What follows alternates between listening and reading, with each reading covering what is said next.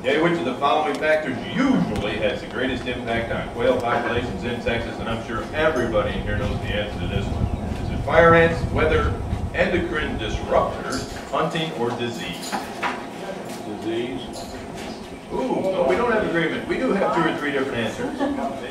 Aha! Okay. The home range of a bobwhite in Texas is how big? Is it five acres, twenty-five acres, eighty to hundred acres, three hundred to three hundred and fifty, or over five hundred? Well, you guys are just jumping right up at the end. Jumping. A lot of confidence out here. You guys are hoping I'm gonna give you the answers right now, right?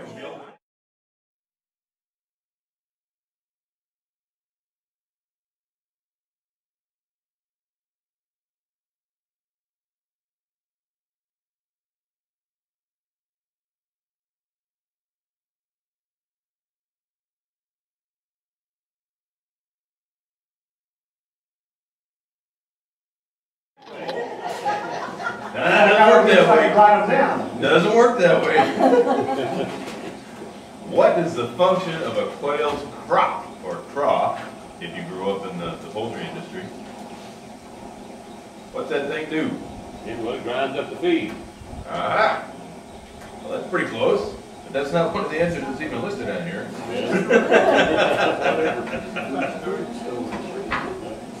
Food storage, you like that one? Well, we'll hear more about the crop here in just a minute too. Okay, which of the following plants provides the best loafing cover? And we're talking about for quail now, okay? Not for people, not for cows. Johnson grass, blue stem grass, western ragweed, lotebush, or broomweed? We know what loafing cover is? No, not really? Well, we'll make sure we cover that before the day's out then too. Number eight, which of the following avian predators is the most formidable foe for quail? The great horned owl, the marsh hawk, anybody know what a marsh hawk is? We don't call them marsh hawks anymore, now they're northern harriers. But I left it marsh hawk just in case somebody here was from the old school like me. Uh, red-tailed hawk, Cooper's hawk, or the golden eagle? Probably red tail. Red tail, like that one? Yeah, we'll talk about that a little bit more too. Which of the following species of grasses provides classical nesting habitat? We say classical because those of us in the biz, you know, we all like to refer to the same plant because some of the classical studies were done, said, you know, this is where quail build their nests. So which of these do you think it might have been? Little blue stem, Johnson grass, side oats, grama, buffalo grass, or pine grass? A, B, D, D.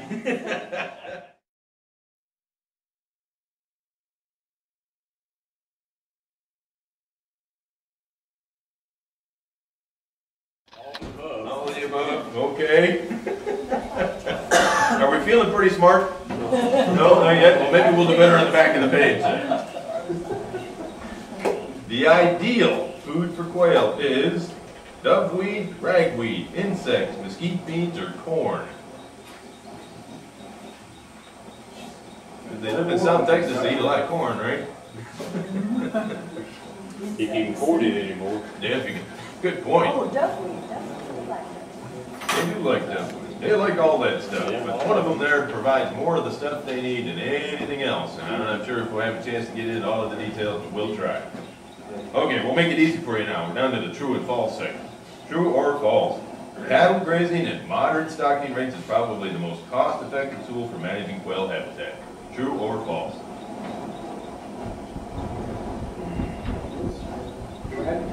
Well, that's that. Oh, sure, why not? Let's say true. Okay, true or false? A quail hen has two functional ovaries. Ne- Never asked, did you? We send those surveys out every year, they never come back. Just like the Census Bureau, you know, you gotta send somebody to housing. How many people live here? How many bathrooms you got? How many functional ovaries do you have? Last time the guy asked me that, I had to punch him. True or false? There are two parts to a quail's stomach. Cows have four, we have one, quail have One, two, three, four? Don't know? Don't know. Okay, boy, we're gonna have to dig deep here, Jenny. You're gonna find out what's the answer. Yep. Which of the following animals has been documented depredating quail nests? Raccoons, feral hogs, opossums, white-tailed deer, or all of the above? You guys remember high school, right? When you, when you get the choice to say all of the above, you always say all of the above, right? That's right. The only time it's a problem is when they say all of the above, sometimes some of the above, sometimes all of the above. Uh-oh. And D, all, Finally, number fifteen, the most important concept in quail habitat management is that of usable space, weather modification, brush sculpting, supplemental food, or rest from livestock grazing. Talked about that livestock grazing thing, but boy, weather's kind of important too. Um, and I think, I think Jeff, aren't you gonna be talking about brush sculpting later? That must be important too, otherwise we wouldn't be talking about it. Anybody feel like they got a hundred yet? No? Okay, well, stay tuned. We'll have to fill in all of those blanks as the day goes on. Jenny's coming around, around with, uh, with second breakfast. It's called pasture to plate, make your own. Surgical work.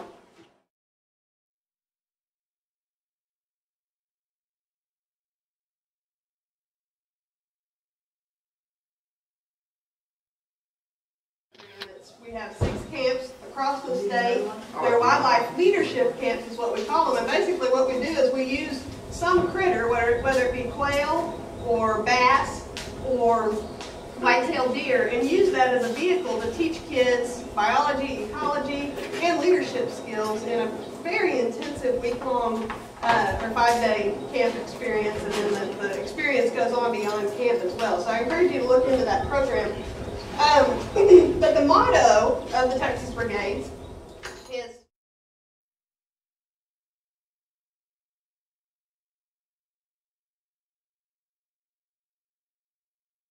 involve me and I understand. So what we're going to do today is involve you in understanding this little critter in hopes that by understanding this little critter from the inside out, you'll be able to more effectively uh, manage his habitat or her habitat um, moving forward it back on your place.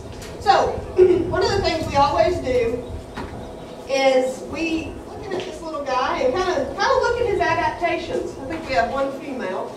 Um, look at his adaptations. Think about the things that this quail has that allow allow him to survive. And as you listen to the lyrics.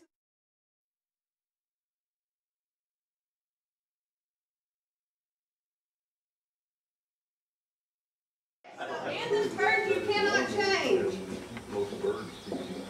Dr. Gallagher, down there at the extension office in Uvalde, do y'all have any publications on crossbreeding quail? Uh, no, no, as a matter of fact, we don't. Do We you have uh, publications on crossbreeding cattle? Yes, we do. So the, the Improved take pasture home, grasses and improved row crops. Yep, but we can't improve quail. so the take home message is these little critters aren't like livestock. We can't manipulate the animal in order to fit the habitat. So what we've got to do is understand the animal, understand its adaptations so that we can manipulate the habitat to fit the bird. So, and this bird you cannot change. If you go by that little axiom in quail management, you'll, you'll do well. So, how much does a quail weigh? Six to eight ounce bundle of adapta- adaptations that allow it to survive in a pretty complex habitat, right? Contrary to what you may have heard in the past, not everything is bigger in Texas.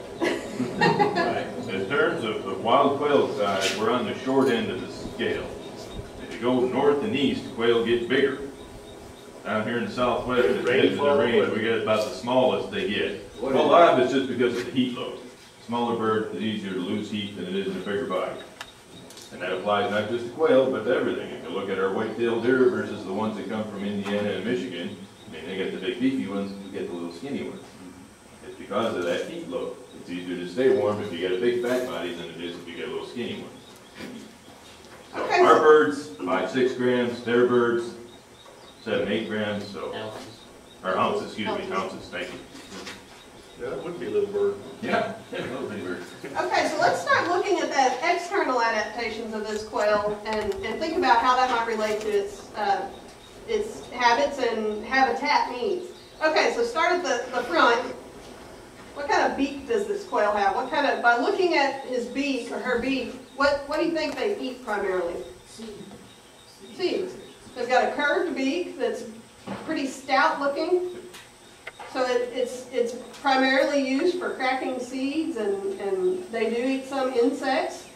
Um, so a quail is actually an omnivore because they eat herbaceous plant material and seeds, but then they also eat insects. So they're both predator and prey in that sense. Anybody ever look at the beak on a flycatcher? What does it look like? Yes, got a whole big gift. Well, it's, it's short and hooked, but it's about this wide, right? Mhm. Wider than your face is. So it makes a good sweep net if you're trying to catch bugs. What's the, the beak look like on a hawk? Sure, wouldn't dare be there. Yeah, it's a good tearing beak. Well, this one's actually kind of curved at the tip like a tearing beak, right? Right. But it's kind of short and, and angled like you'd find on a sparrow or something else that eats just seeds, right? So it's not purely one or the other. Jenny said it's an omnivore, they're eating several different things, so they got a bill that's adapted, or excuse me, a beak, that's adapted to eating several different types of feed. Okay, so moving on, look at their eyes. Think about the placement of the quail's eyes. Based on that, is the quail a predator or a prey? Prey. Any animal, you can, you can tell by looking at any skull in nature and find out if that animal is a predator or prey by looking at, one, their teeth, but secondly, their eye placement. If their eyes are on the front of their head like people, we're not near as concerned about things pouncing on us as a prey animal. We're a predator. We're, we want to be focused. We want to be focused on our prey, therefore our eyes are on the front of our head. Prey animals generally have their eyes on the side of their head so that they have a greater peripheral vision. So this, and, and this, this little bird is pretty dang good at peripheral vision. They've got a 320 degree peripheral vision as is, but because of their adaptation again of their neck being able to turn all the way around and look directly behind them, they've really got a, a full 360 degree field of vision. You So another adaptation. How, how far up to the sides can you see? I'm gonna say, people generally, we're talking somewhere between 160 and 180 degree field of vision. Mm-hmm. Real young people might go as far as 190. Those of us who got a few years can't do that anymore. But then again, think about what an owl's face looks like. Owl, obviously, is a predatory bird, right? And those eyeballs are right there in front, get that good binocular vision so they can judge distances very exactly. You know exactly when you're gonna hit that bird. So we have, um, I, I kind of missed their nostrils or their nares. You can see on the side of their bill, they do have I'm sure they use that in sniffing out food items and maybe predators, I don't know. And then behind their eyes, you can see some real specialized feathers that can kind of poke around behind their eyes. You'll see their ears. So they can hear that big, mean black dog coming. And there's also some real specialized feathers above their ears that I'm sure aid in, in hearing. But just, you can see there are different feathers over their ears than, than the rest of their body. Okay, so.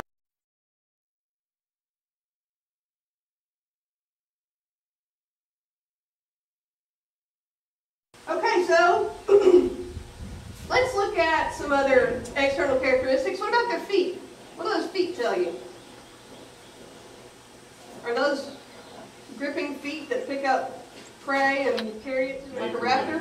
Made for running. They're made for running, right? And they're also made for scratching around. See those long, sharp nails made for scratching to find find seeds and other um, food items. So specialized feet don't have a bunch of muscle. They're not the same kind of feet as if you look at a turkey foot that latches onto a branch. They don't need a lot of muscle in their feet to, to latch onto something. It's just for running and, and for, for finding food. Okay, so is it, look at your quail. Is your quail a uh, female or a male? Male. Female. Okay, y'all got the only female, and how can you tell? There's a difference in the coloration. Hold your, hold your head up. Yeah. The female has that, that buffy color on these stripes on her head, and then the male always has the bright white. Okay? So, speaking of different coloration, what about a quail's feathers? What adaptations, what, what functions do the feathers provide? There's three main ones that we always talk about. Camouflage? Camouflage is a very good one. Body temperature. Thermoregulation, very good. In the summertime, quail kind of will puff up, they'll get up under one of those loafing coverts. They'll puff up their feathers and it allows air to run through there and, and they pant. Quail pant. They're like, they don't have sweat glands, they're more like dogs. Anybody know what the pant is called? Here's a trivia for you. Part of the anatomy we haven't really talked about yet, Yeah? somewhere between the, the beak and the chest. It's what we call the gular region, not the gulag. We're not gonna send anybody there to, to hold them in prison. This is the gular region. So they call it the gular flutter. It's basic their way, basically their way of panting. They, they trap air in their throat, I guess, that gular region, and just pant, and with their feathers all fluffed up, fluffed up, they're able to kind of thermoregulate. So we've got camouflage, we've got thermoregulation. What's our next function of feathers? Yeah, we'll get to that in a second. That's more of a function of another organ that we'll talk about. Flight? Flight, oh, good! Ding, ding, ding. We can't fly without feathers. and I, I was talking to a friend of mine yesterday who's a vet, and he said, you know, we always talk about these main three functions of feathers, being flight, thermoregulation, and camouflage. Excuse me, camouflage. He said there's really another function of feathers that's key. You might think of another function of feathers. We talked about the sex. Um, Incubating feather, uh, incubating eggs? Well, yeah, I mean, that's kind of the, that's kind of the thermoregulation thing. He said reproduction. In that most birds, here's another trivial word for you, dis, display sexual dimorphism. Meaning what? Difference in sex. Yeah, there's a difference. That her, her feathers look different than his feathers, right? So we have sexual dimorphism, different uh, morphs of, of the feathers that are displayed by the feathers. So that's another thing. I mean, what do you call a, a male, uh, what's a greenhead? It's a male mallard, but is a, is a greenhead a female mallard? No, because it, they're sexual dimorphic. That he has a green head, she doesn't. So just another something. That's not for us though, right? They didn't do that for us so that we know the, the males from the females? So who did they do that for? Good? Uh, Hopefully for each other, right? So they know which one is male and which one is female. Although it sure is handy when you're out there shooting ducks, so you know which one is drinking with And why, why would a female usually be a little duskier, a little bit better camouflage than the male? Why do you think that might Check the eggs sitting on the nest. But in most cases, they, they're the ones that are taking it. be? And are males usually trying to attract mates? So they want to be a little, they want to be a little flashy. Which is really strange because it's just the opposite of what humans do, for the Uh, most That's what I was thinking. Yeah, No, no. You're much prettier than I am, so I it's can state that. not. My personal contention that is it's just the way it's supposed to be. The- The reason that women wear a lot of makeup and getting their hair done is so that they can look just as good as the guys do. And not wear makeup. Right. that's right. That's right. So we get it. We're ruggedly. How many Okay. people have bought that story? On that note, let's go back to ad- adaptations. Okay, so let's look at these wings. What, I'm, I'm kind of spreading this quail's wings out here. What is the difference do you see between the shape of these wings and say the shape of a duck or a dove? Can you tell the difference when you see, see a covey of quail flush? I mean, they look totally different when they fly. Let's say smaller, shorter- shorter flight time. Yeah, well, and their wings, if you'll watch, to me, the thing that always clicks me off that, that those are quail, or especially if there's just one, is their wings are really curved, whereas a dove has a much more pointy wing. And, and that's exactly what it's for. These are sprinters, and we'll look at some more internal anatomy here in a minute that shows that they're sprinters, they're not marathon runners. These, this is the, this is the quarter horse rather than the thoroughbred of the bird world. So the shape of their wings is very important. Um, while we're looking at wings, let's look at who, who selected answer B on how do you sex a quail or a quail? On the, you already take them up? Nope, they still got them. Okay, so wing feathers. Everybody kind of open up on your wings like this, okay? We're gonna look at some wings. And Jim, David, y'all may be able to tell all of these. The, the feathers we look at to age a quail are called the primary coverts. And I don't know the names of all of these feathers, but I know that these long ones on the front of the wing, you'll notice a neat, a wing is, especially a quail wing, is just like a, a human arm. We've got our, all the bones end up, and then these are just, just the same structure as our arm, and then it ends up, these long feathers are fingers. Okay, so if you take those long finger feathers, those are called the primary feathers, the ones on the front of the wing, this part right here. And then you'll see there's a layer of feathers above that that kind of overlap it. This, pull these away. See, there's a layer that kind of sticks out. I think this is your thumb right here. And the But bird rule this in Olula. Alula. See, that's what I knew I didn't know. But this, this layer of feathers directly above those primaries is called the primary coverts. They cover the primaries, so covert. Those primary coverts are the key to whether this is an adult or a juvenile bird. So if you look at those feathers, if they're gray, just a solid gray color all the way down, it's an adult bird. But if it's got a little bit of a different color on the tips, what we call a buffy color, kind of the same color as the head on that female, then it's a, a juvenile bird, this year's bird. And sometimes, these, these are starting to be replaced already. Does everybody figure out, who has, does anybody have an adult bird? So these are pen raised birds, it's not surprising that they're less than a year old. They're all, Jay, some of them, bigger feathers have already molted. They almost all have it, just on the last three or four, so they're right on that. They're all, they're probably a year old birds, right? Well, no. They're just coming up on a year? Or, They, they hit full adult plumage at 150 to 180 days. And we can't tell the difference after that. Uh, These are last small birds. yeah, so, Mark, someone's on the side. I'll scoot- I'll scoot I up keep, over I here. keep putting my me on here. yeah, I'm gonna say, we hit full adult David plumage Morgan. somewhere between 150 and 180 days. And beyond that point, we can't tell the young of the year from the adult bird. Uh, Up to that point, again, there's normally a- an orderly progression where you replace that, that first primary flight feather, then the second primary flight feather, the third, fourth, fifth, sixth, seventh, eighth, ninth. Uh, So we can age them basically to the week up until about 12 or 14 weeks of age. And then it's just, I don't know, can't tell anymore, They're not a whole year old yet. right? So these are not a whole year old yet. I know. They're how? They're, they're coming right up on six months. Six Six months. months, yeah. They're right on that, so they're last small. Okay.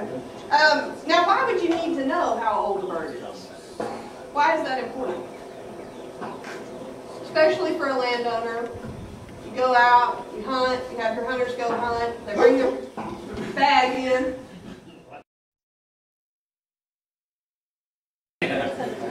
Again, why do we care how old these birds are? Right here, right now, we probably don't much I would. I would guess that you're trying to figure out whether you're harvesting this year's birds or two years ago birds or whatever. the ratio of young of the year to adult birds in the fall harvest is an important piece of information. It tells us where our population's gonna go. The, the depressing thing from the quail's point of view, and I'll get into this in more detail later, the, the average quail lives to be all of six to eight months of age, and that's it. And their ex- longest lifespan is generally no more than a year. But there's, yeah, there, there have been like two instances since we started studying quail where people marked them and got a marked bird back that had lived for five years. Two out of the millions that we've looked at. So, the average lifespan is certainly less than a year. Ty- Typically, six to eight months is about it. What's important is if you know they're not gonna live a full year, you know you gotta add new ones every year, right? Otherwise you run out really quick. So you're looking at the ratio of young of the year to adult birds in that fall harvest, and if it falls below about two young birds for every adult bird, you know which way your population's headed. Well, If it's like five or six young birds for every old bird, then, you know, you're heading the other way. Somewhere in between there, you typically you hit around two and a half to three young birds, for old birds, you hit kind of a steady state. You may not be ready to answer this question yet, but uh, at what age will they breed and what, how- how young can they have a clutch of eggs? you know? If, in a pen raised bird, you could probably do it at five to six months. In a wild bird, they're not ready at five to six months. They're just not in physically good enough condition to do that, one, because it's probably December. Okay, yeah. Uh, you know, November, December, so they, they don't get to breed until they're just darn near a year old. And most of them don't get that far. Yeah, exactly. That's why, that's why quail are hard to manage in a wild setting. So, um, so you're looking for, when you bring your bird bag in, you're looking to have at mostly subadults. If you pull those out and then most of them look like this, you know, if you've got seventy percent, you are home free. Now, if you pull your first bird bag out of the season and you've got thirty percent of young birds to old birds, you may want to reevaluate how much you want to hunt that year. Might have been a really tough nesting season the year before, and you might want to preserve as many of those birds for the following year's nesting season as you can. So it's just a good way to evaluate your harvest strategies and see where you're going. You know, look at it over and keep records from year to year and see how you're doing. In, in general, a lot of times you can tell. This year I live in, in Duval County. I know good and well I'm not going to see many young birds in my bird bag next year if we even hunt it. So, but this past year was pretty dang good. So you can generally predict it, but it's a good a good indicator of what your harvest strategy should be moving forward. Okay, so moving on down this bird, we talked about the wings and the anatomy there and why it's important. Um, and somebody talked about waterproofing feathers. Duck, we know ducks do that. What do they? What do you call it when they when they kind of fluff their feathers and take care of them and preen? Good. Now, is do they just peck on them, or how do they waterproof their feathers? Spread oil, Which comes from a gland, gland. usually in the tail. That's right. Uh-huh. If you will kind of pick up the tail feathers of the bird and just kind of poke around there, you'll see a little gland. It looks like Kind of right above the, the stiff tail feathers. See, it looks just like this. See it? No, it's on top of the tail, on the top side of the tail. See, here's his, his stiff tail feathers. See that right there? I just squeezed it, and there's a little oil coming out of it. Yeah, there you go, up, up here. There you go. Based on what you've heard so far today, what do you think the name of that gland might be? And I kind of, I kind of wiggled mine, and oil came out. Yeah, Oil gland is what most people call it, or a preening gland. Yeah, it's that mythical uropygial gland. Uropygial. You're gland. Sure, I really want to do this. But yeah, if you, if you kind of, I mean, I just touched it and the oil came out, and you can see it. And that's how you can tell your bird is still fresh. Yeah. You still got oil Okay. coming out of the. So any other external adaptations, Jim? Are we ready to dive in? Um, I'm sure we missed something and it'll come to us later, but uh, I think we're good for now. Yeah, I think we're good. Here's a, here's a trivial question for you, talking about adaptations. What's, uh, and as we get down to this end of the bird, what's this part down here called? Yeah. Yes, or otherwise known as the vent. Quail, because they have to fly, and they have to fly fast, and most birds are, the- I think all birds are this way, they're the who have one vent for everything. It serves all functions that usually occur in that end. It's reproduction, and it's waste, and it's um, urine. So what's the white stuff in quail poop? In bird poop? Probably urine. Yeah, you got it right, more bird poop. But yes, the white stuff is, they, they, they poop and they pee at the same time, and that's one of their adaptations, I mean, as goofy as it sounds, it's one of their adaptations to be more efficient and therefore not weigh as much and not have as many things going on. They're a much simpler creature because of their need to be airborne than, than mammals and, and other. Let me follow that up with another good trivia point. There, there is one bird in the world, one bird in the world that we know of, that has a bladder. If you had to guess, what kind of bird would have a bladder? We just talked about saving weight so we can fly. Ostrich. Ding, ding, ding, ding, ding, ding, ding.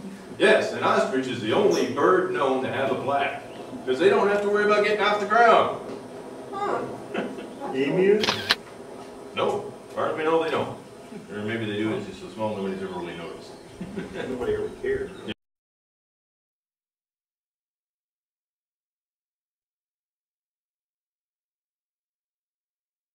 bird on its back, and what I want you to do is just get in there and peel the skin you might, you might have to cut it, but you should just be able to peel it back, kind of like you do with a dove. You press Just that- peel it back and expose that breast Flip them over muscle. and breast him up for me? Okay, breast him out. Okay. You can use your little, pretty easy. Kind of peel it down over their legs a little bit too. You're just exposing the breast muscle here. Down on the legs too. Yeah, just kind of, I just want you to be able to see their leg muscles. And then kind of peel up, up towards their chin too. We want to expose all that stuff in their neck.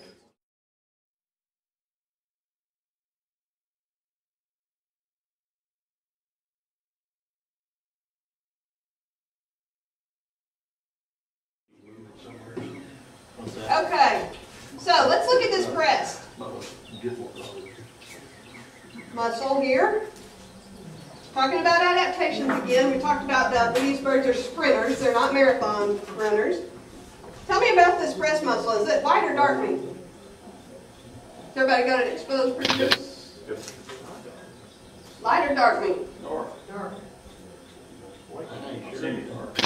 Think about a chicken breast. It looks about the way a raw chicken breast does. Compare with a dove breast. Huh? Compare with a dove. Yeah, compare it with a dove breast. How many of you have opened up a dove? It's almost darker. Yeah, that's a Yeah, lot. dove's a lot darker. So this is light meat. Now, why would a quail have light meat and a dove have dark meat? How's the dove make his living? better. Well, How's the it dove make his living? you, you said the dove tastes better or the quail does? Well, Quail tastes better. To me, it's because it's light meat.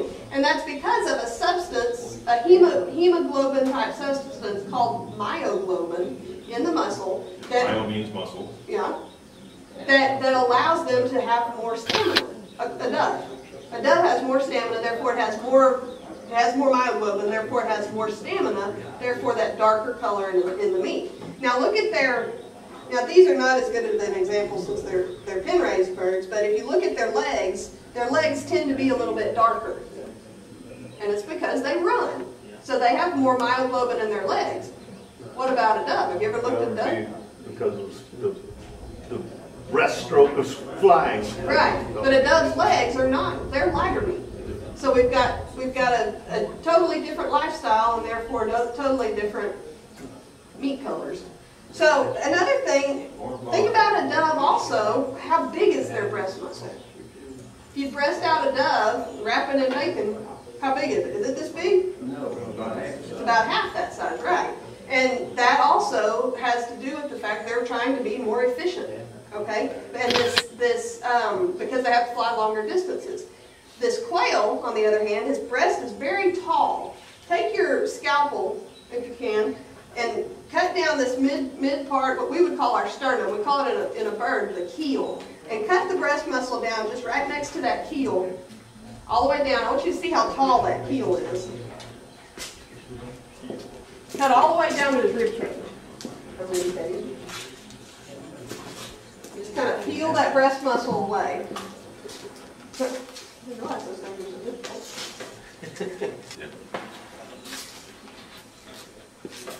Okay, so as you peel that breast muscle away, you see how tall that keel is? Think again to a oh, again, We're cutting where? just cut, Just down the keel. yeah, straight, straight down right here, you just want to peel that breast muscle away a little bit. Up the way right? Yeah, yeah, just like you were filleting it off. So that, again, that is because they need, they're powerful, quail are powerful flyers. They have to take off and get away quickly. And so that power is needed, they need that strong keel to, to supply the, the strength they need to, for some heavy wing beats, wing beats. A dove just needs stamina. They don't need aggressively as a quail does. So that keel provides that strength, and then the larger breast muscle also just the, the power that they need to, to really get up and go. One of the things that's always impressed me, you know, cruising down the county road going 30, 40 miles an hour and a dove passes you doing like 50, 60, and you just kind of going,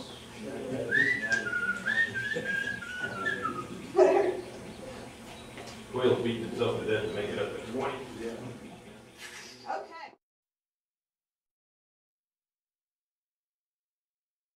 Okay, So now it's time, well, actually, while we're here, let's go up, if you can, kind of peel that, um, their skin up all the way to their chin. You may need to use your scalpel and just kind of peel it away from all the stuff underneath.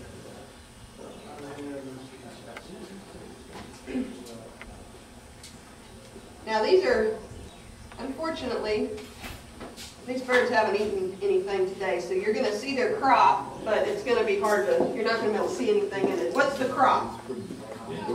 Creatures that eat, that live an eat and run lifestyle. They've gotta run out and where's their most abundant quality food sources? Out in the open. Out in the open. So they've gotta run out there, find a little insect, find a little Find a pile of seeds. find a little pile of seeds or some nice vegetative material, and then run back. So what they do is they eat, eat, eat, eat, puts it in this little Ziploc bag we call a crop, run back, get under one of those loafing cur- coverts, and then they, they start the digestive process after that. There is no digestion that occurs in the crop. It's just a storage facility. So can you, everybody find the crop? It's empty, but it should be there. This one, everybody Oh. this morning. Hey, yeah, if y'all want to see a crop with something in it, this one's actually eaten. Yeah, This guy ate everybody Okay, so let's talk about digestion. So a quail runs out in the open and it finds whatever it's gonna eat. What's, the- what are the primary food sources for quail? Insects, grain, Insects are their, that's quail. What, I mean, that's their best, most ideal food, insects. Seeds, and then, and, and grain, and then, uh, You heard forbs. Who knows what a forb is? Otherwise known as The a name for weed. weed, weed. Weed, yeah. It Okay, changes so- through the year, right? Yeah. Fall and winter, what do you got to work with? It's cold, there's nothing growing, seeds. all you got is seeds, basically. Seeds are survival food, right? High energy, from all the starch that's in the seed, most of them are not real high in protein, but it'll keep you going. An insect is a quail MRE. Yep. Spring comes, things start to green up. What do quail eat the first thing in the spring? The big forces. Yeah, as soon as those little bitty forbs start coming up out of the ground, before they even get to be an inch tall, they're picking off that little green stuff and sucking it down, because it's easy to digest, and it's high protein. It Starts to warm up a little bit, who else is trying to eat that little green stuff? Your deer and everything else. Well, but all the insects show up when it starts warming up, right? So now you can pick up some greens and insects at the same time. You, you a dual meal. There you go. Get your meat and potatoes at the same time.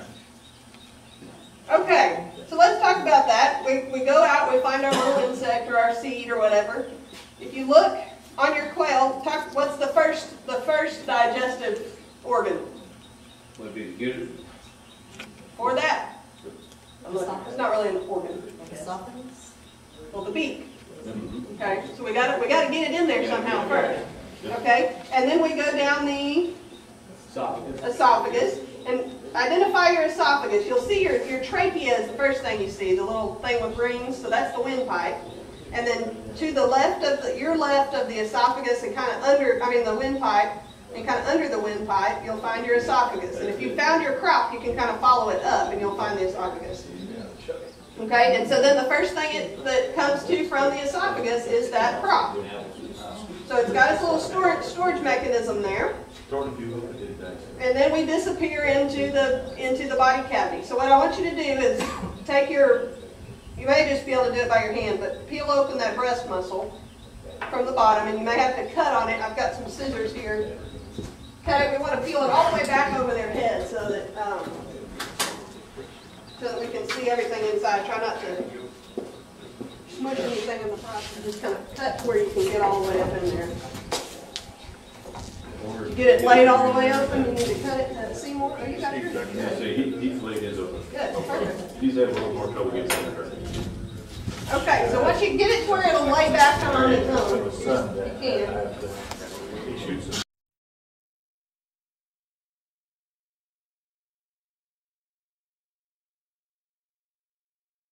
Okay, so you'll see kind of sticking up on the sides is their rib cage. You don't think about birds having ribs, but they do. Right here. And if you want to kind of cut those ribs away, that might help. We want to, we want to see everything in there. We want to see where those, um, that trachea and the esophagus disappeared. We want to follow them from there. Okay, so once we've passed, you, you see, you see the esophagus, or the, I mean, the trachea right there, it's usually the easiest thing to see, right here. So we see our trachea coming down. What's this first? You Still getting yours on? Might be easier to cut it with this. Yeah, what's that first, first thing you see kind of on top? The heart. The heart. Anybody that wants to give a heart to Mr. Kane later, welcome to. Okay, so we've got our heart. Okay, we've got our heart. What's this big? That's the gizzard. The big, the next big thing you see there? Coming up late? Yeah. It's the gizzard. What's this red I stuff? hope here? so. Liver.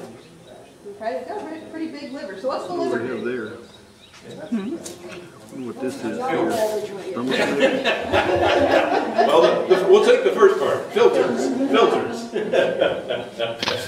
Okay, everybody move your liver to the, uh, to the left.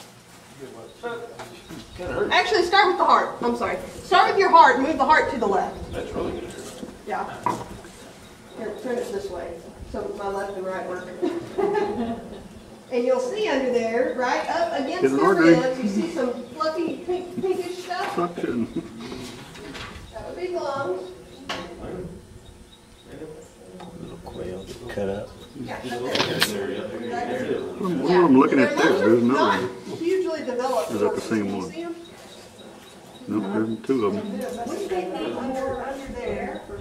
They're right there. That Their feels are like all it the way up against, up against kind of the back of their body cavity. is very, very tough, muscular. Yeah. Well, there, there's a couple of things different about This the birds' liver or lungs the from ours lungs? too that make theirs more efficient than ours. That would be You guys great. Is this the liver? Somewhere Uh-huh. along your Yeah. career, they told Uh, you, you know. what is you this? end up That's the gizzard. with Gizzard, little okay. balloons And that- this, We'll get to that in a the second. alveoli. That's fun. I'm glad that's there. So ours Okay, goes Okay, in this the is little lungs. balloon, and the little You got two balloon of 'em? collapses Is this a the male? and Back out. yeah, I Well, that's not the most efficient way to move air through, is it? Okay. You gotta go back. Don't tell me that's what I think it is, there's two of them. Instead of that little balloon in the end, birds actually have just a little tube testicles. that makes a little U-turn. So the air doesn't have to stop and turn around and come back, it just goes. So their lungs work more efficiently than ours do to begin with. And then these guys don't spend near as much time flying as doves do, so they don't need the great big lungs to find it more flight-oriented bird.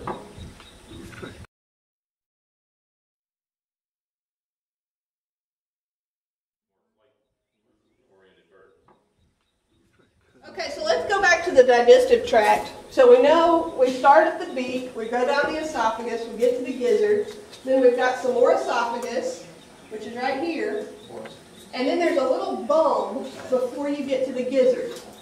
How many stomachs does a quail have? Okay, I'll guess two. Good, good guess. So Only because I found two things I don't know what they are. So there's this little bulb, and then you've got some more esophagus, and then you've got gizzard. So that little bulb is called the proventriculus. It's the first stomach, and it's where the, it's called the um, chemical stomach. The, that's not the right word I'm looking for. Which one's the first, which one's the second? Well, the proventriculus is the one on the top. Um, glandular stomach, that's the word I'm looking for. Okay, so it's called the glandular stomach. It's the one that breaks down the easy stuff first, okay? The, any, any soft materials, it starts breaking those down and pulling nutrients out of them already. Okay, and then you go from there to the gizzard, which is that big hard thing. Okay, now, how many of you heard of, of uh, birds, uh, chickens, stuff like that? They have to have rocks or, or, gr- or gravel. Yeah, grit. That's where it goes. It goes into the The lungs gizzard. The gizzard is the muscular stomach. It takes that out. grit and just really grinds on those seeds and stuff. Somebody cut open your gizzard. Okay, just kind of slice it open, and then you'll see that it's very muscular. There's a big, big layer of muscle before you get to the little cavity on the inside. So cut it all the way open and kind of peel it open. The chicken's teeth. How many teeth does a quail have? Teeth. In its lifetime, how many teeth does a quail have? Okay, he's You're full close, of stuff. not quite there. Oh, then when they're born, they have that hook on the end of the beak. Yep, one. It's a quail They're hatched. egg Okay. tooth. We have got, Oh, we've got stuff in the gizzard. yes, Okay, well, kind of scrape the stuff away and look at the lining of the gizzard. And if you can feel it, you may not be able to feel it, but that lining on the inside of the gizzard is real sandpapery. And so that, that paired with any gravel or, or pieces of rocks and stuff that they've picked up is what really grinds up any hard food that they eat. Okay? okay, now this, is- I guess So- that's the, yeah, that's, that's gotta be it right there, Yeah. the lining, yes. Yeah, see how rough it It's is? stained green from what it's been eating, but Right. yeah. It's real rough like sandpaper. Uh-huh. You Oh, you peel that inside part off? See the, the grooves in it that way there? I guess that, that probably rubs, Yeah. somehow Well, it's tough, and I bet it probably doesn't taste as good because it's what, been had the contact of the meat. But, but, but so the things to take home here are how strong, how thick that muscle is surrounding that little lining, and then also that sandpapery stuff. So it takes care, it's the muscular stomach that takes care of the hard grinding work. Okay, so after the gizzard, kind of follow down what, what we got after our stomach. Small intestine, we're gonna look at a couple of things. So we've got our small intestines. What's the function of small, the small intestine? Absorption. Absorption, right. So we've gotten hopefully all of the nutrients, big nutrients out of the food at this point. So the small intestine is transporting the waste out, but it's, it's also pulling out the rest of the, the Goodies. liquid and any other goodies it can pull out and absorbing those back into the body. So if you kind of pull those, yeah, if you, st- once you get it going, it'll pull out. Um, kind of pull it so that you can kind of straighten it out. What we're gonna find is How long is at, at the, see how much there is, yeah, and how much, how efficient they have to be. How much, would you think there's much, say, moisture in the seed? Say again? How much moisture do you think there is in a seed? Not Well, they're dry on the outside, but on the inside. Yeah, they've got some moisture, and so that, these quail need to be pretty dang efficient gathering moisture. Do quail need standing water to survive? They don't need standing water. They do not need a puddle or anything to drink out. of. They get all of the food they, the water they need from the food they eat and then dew on leaves and stuff like that. So they have to have a very efficient system of pulling moisture out of the food they eat. Therefore, lots of small intestine. Think, think about this again. There's not much moisture in the seed. There's pretty good moisture in those greens they've been eating though, right? Most of the insects are kind of juicy. But there's more moisture in that seed than you give them credit for.